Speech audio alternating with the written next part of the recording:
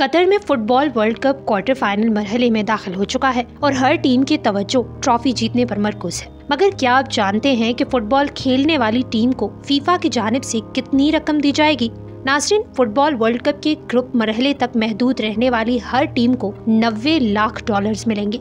Round of 16 में बाहर होने वाली टीमों को एक crore 30 lakh dollars, quarter final में शिकस्त खाने वाली हर टीम को एक करोड़ 70 लाख डॉलर्स दिए जाएँगे। इसी तरह सेमीफाइनल हार कर तीसरी और चौथी पोजीशन के मैच में नाकाम रहने वाली टीम, चौथी पोजीशन पर आने वाली को ढाई करोड़ डॉलर्स, जबकि कामयाब टीम को दो करोड़ सत्तर लाख डॉलर्स आएँगे।